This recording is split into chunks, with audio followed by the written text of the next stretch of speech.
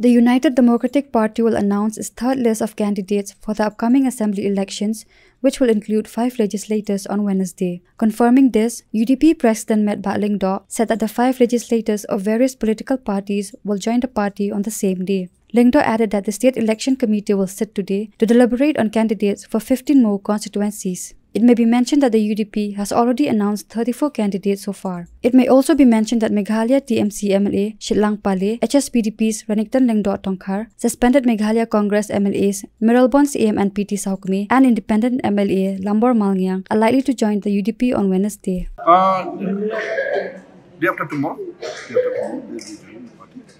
And we will have the election. Uh,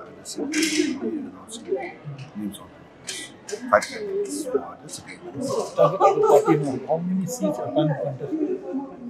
Now, how many contests will we keep on the uh, today? Also, again, we are state election committee is going to sit and uh, we'll uh, finalize some more seats other than those five. Well, uh, are you, when are you coming up with the manifesto? Very soon, very soon. Uh, we are at the stage of finalization of the manifesto. What will be the key, at least if you can uh, tell us? I cannot spell out uh, right now because we have uh, left it to the committee, manifesto committee, to you know, for, like, a couple of months now, and uh, to be uh, very very detailed as far as those points is concerned, and um, we will share with you as and when the manifesto is ready. And when the second list of candidates will be declared? No, this will be the third Third list. list. Uh, sorry, The third third list. list will be most likely day after tomorrow. Day after tomorrow.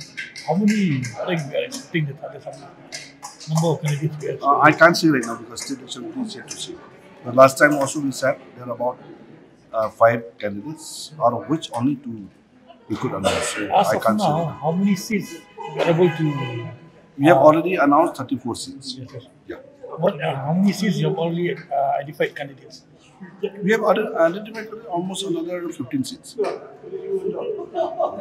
Well, this has yet to be finalized, but it's Yeah, yeah, yeah. yeah. That's right.